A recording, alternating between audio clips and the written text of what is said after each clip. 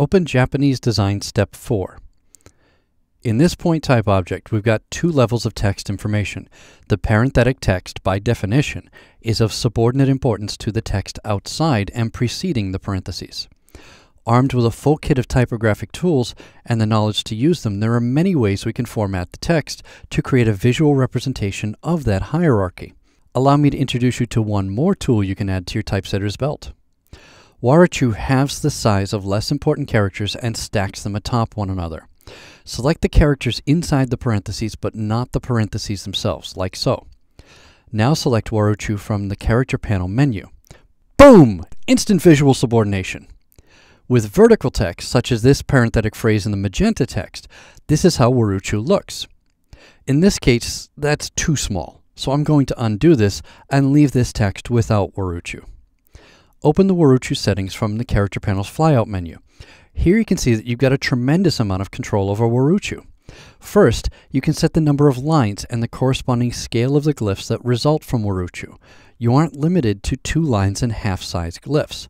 With this dropdown, you could easily make longer passages of text 3, 4, or even 5 line Warichu. 5 is pretty rare, but if you need more, create two paragraphs, both with Warichu.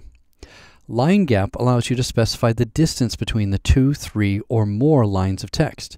This is handy when adding Warichu to small text, like if we'd kept Warichu on the magenta parenthetic phrase, and if the lines of that smaller text are stacked a little too tight for comfortable reading. The line gap field also accepts negative values to counteract the opposite when the typeface creates too much line separation.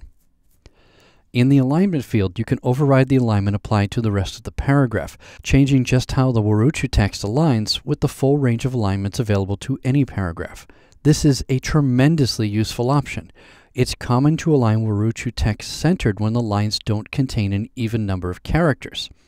Sometimes, designs are also best served with fully justified Warichu phrases or other alignments that differ from the preceding and succeeding text. In the past, and with other applications, designers often have to set Warichu text as completely separate objects just to get the alignment difference between it and surrounding text. With this yellow text, that wouldn't be too difficult, just mildly annoying.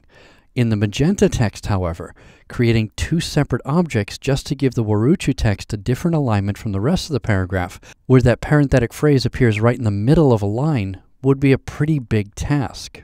And it would have to wait until the text is completely finalized, lest you have to do it all over again. Fortunately, Illustrator's alignment control takes the boulder away from Sisyphus.